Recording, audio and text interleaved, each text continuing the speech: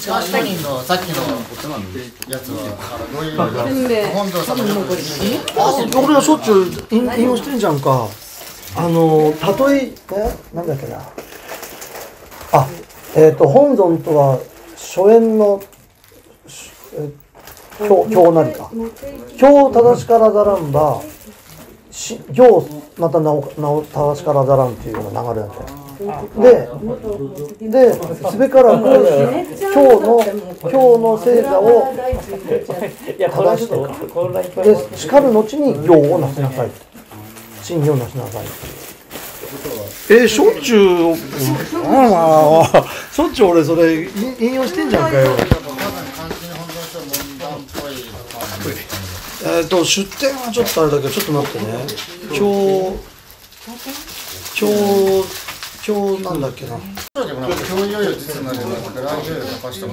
まあ、それは、ちょっと違うじゃんね。まあまあ拠点っていうか一応拠点だよね学会流で言うと拠点だよねまあ、こそうだね、巨人、個人会館っていうことだね。学会流で言えば。そう学会流で言えば個人会館。えーと、法論必須問章の偽本尊、偽本尊偽本尊の偽本尊伯爵だな。自分の人生をさほら、もう言ってないじゃん。それ本尊とは初演の経なり。門弟七珍章だ。門弟七珍章。それ本尊とは初演の経なり。だから、縁するところのその大教ですよと、こっちがね、修行者が。でね、教よく地を発し、だからご本尊様が仏地をは、ご仏地を発してらっしゃるよと。あご本尊とか、要は本尊というものは、すべからくすべて、やっぱりそれなりに地を発してくるってことだね。これは間違った本尊だからね。で、地また行を導く。その地によって、ご本尊様から、まあまあ、本尊から来る地によって、自分らはその行を進めていくわけじゃないですか。だから地また行を導くゆえに今日もし正しからざる時には地行もまた従って正しからず。本尊も正しくなかったら結局こっちの真も行もけ間違っちゃうんだよ。で、えー、妙楽大師言えることはあり。たとえ発心真実ならざる者の正教に縁すれば功徳なおしほんで逆に今日が正しかったらこっちの発心がいいいい頃加減いいから加減でも自然に正しくなっちゃうんだよ。と負けたら回収するんだよ。でもし正教にあらざればたとえ疑問なけれどもまた主とならず。今度は本尊が間違ってればこっちの信仰姿勢がどんなに真っ正直でまっすぐなこう行動していても成仏の種とはなりませんよと。もう反論できなかった。以上。と日韓商人門弟七章これはもう学会でも検証会でも通じるとか。ね本尊なんかどうだどうなってもいいよなってぐらいにもうなってきてるからさ学会も。こっちをみたいな。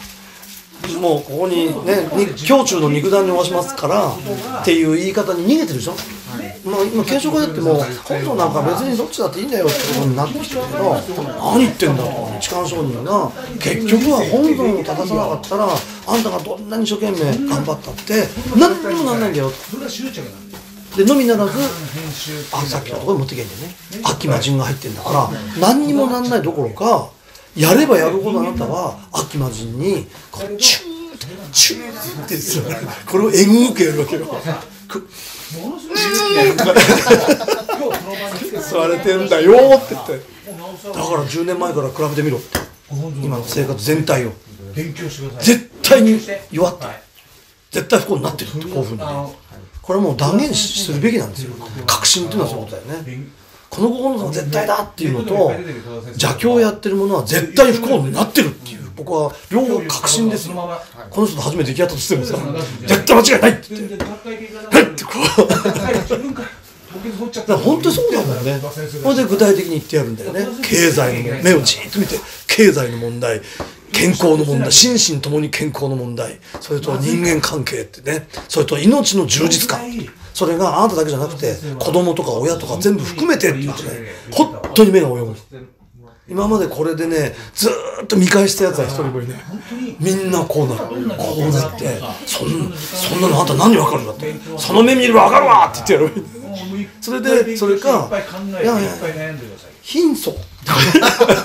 この貧相でね尿税症あ全部読んでるでしょって正直そう尿税層尿税症尿税体尿税力でこの貧相でね本末共闘して貧相だから幸せなわけないっていうだから具体的な生活しなくてもいいんだよ。だって日蓮少子の神道に比べればさみんな貧相じゃないですか。堂々と言っちゃっていいわけよ。あんまりにも向こうがガチガチガチガチ言ってると尿税層尿税症その層貧相貧症貧体っていうことでしょ？本末共闘ってことは。だからあなたは本末共闘して貧相。財布も貧相。人間関係も貧相。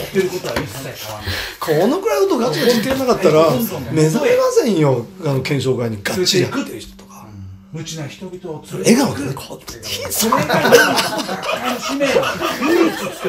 っちがあんまりこう生きるとって言っちゃうとね五条に反するから政教新聞笑みをたたえて貧相 余計きつい。いや言えるよって最近はもうえもう笑っちゃうよ だっていいだって貧相だもんっつってさ本当にそう思うからね本当にそうだしそれで何偉そうなこと言ってんだよってい。うことだよやれ国立会談がどうだとか日達がどうだとかここの貧相でみたいな。よく言えるよなっていう。飲まれ向こうの言い分に飲まれないことだよねそういう点では。貧相のくせにやらんなそう言うとねえよっていう。もう根底にそれが。もう何で来てもダメ何言ってきてもダメ貧相。国立会談騒ぎながらねこの貧相なのが6000万人も出たらどうすんだよって言って言ってないんだよ。もう国家のもうねあの大損失って